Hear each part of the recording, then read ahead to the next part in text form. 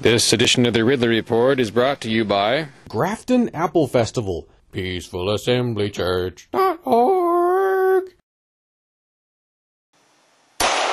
Well, people will say, what about DC versus Heller? I'll tell you what about DC versus Heller. Scalia, who was the majority opinion in there, said something very curious. He used three words dangerous and unusual. Do you know what dangerous and unusual is? It's a very large legislative locomotive that he or the Congress will employ to ban whatever kind of weapons they don't see us fit to have. And that's morally wrong. But what kind of country, and let's start looking at, that, at, at it that way, what kind of country could we create here in New Hampshire? Do you happen to have an international border? Yes, you do. Do you happen to be next to Absurdistan, which is Canada, which is where Stefan Molyneux hails from? Yes, you do. Nonetheless, could you possibly use that as a lever? You certainly could. Do you have resources here that could be used as exports? Has anybody here visualized New Hampshire as a country? You could even keep your name if you wished. Make it a nation. Make it nation state number 197. I am a self professed anarchist and abolitionist. I don't like the state. But I also realize that it is a pipe dream and a chaotic undertaking for my own sake to say, well, I'm going to move directly to a stateless society.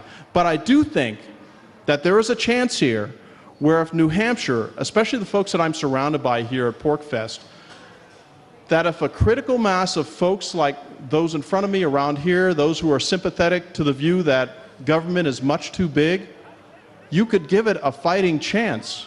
Because the fighting chance is this let's not have 197 nation states on earth, let's have 197 100.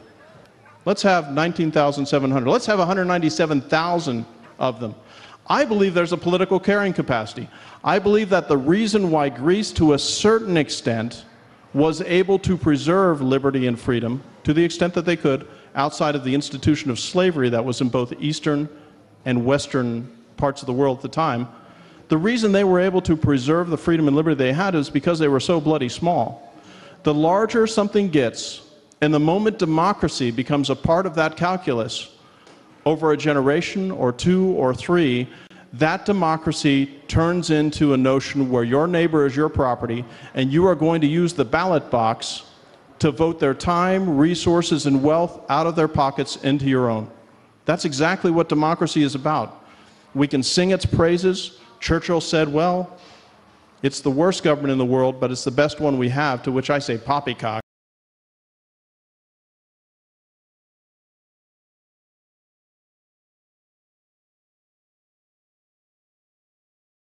I think there are other ways that we can organize ourselves where we don't consider our neighbors our property.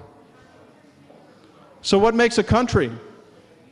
Well, according to the United Nations, which I don't hold as the authority for freedom and liberty, but they say you have to have things like a space or territory where. Thank you, sir. I don't like the United Nations either. I wish they'd just go away, maybe to Antarctica or Mars. So they, they, ha they have some, some specifics on what makes a country. And some of these things you guys are going to disagree with. Has space or territory which has internationally recognized boundaries. Has people who live there on an ongoing basis. Has economic activity and, and an organized economy. Now, you know how the United Nations reads that. They don't read it the way PorcFest reads it. Has the power of social engineering, such as education and I shit you not, that's what it read. Has a transportation system for moving goods and people, has a government which provides public services and police power, God help us, has sovereignty, no other state should have power over the country's territory, and has earned external recognition, and I will talk about the value of that later on. So I'm talking about secession and it is a four letter word in America, is secession a strange idea? Here's what I want the amateur or maybe professional historians in the audience to examine. Can you think of a country that has been birthed in anything but secession? And I'll provide you two factors that would mean what the secession is. It's either the divorce of an area of a known nation state to assume its own sovereignty and integrity.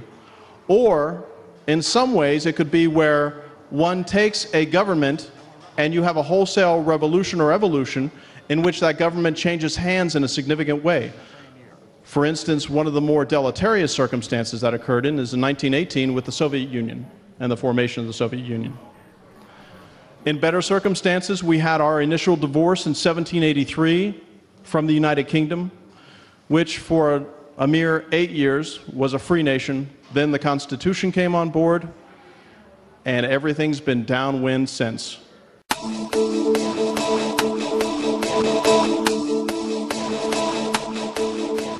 Don't miss this year's Grafton Apple Festival, Sunday, September 30th. Bring a few apples, hang with New Hampshire Freedom Folk, and crank a vintage cider press. Details are at Peaceful Assembly Church.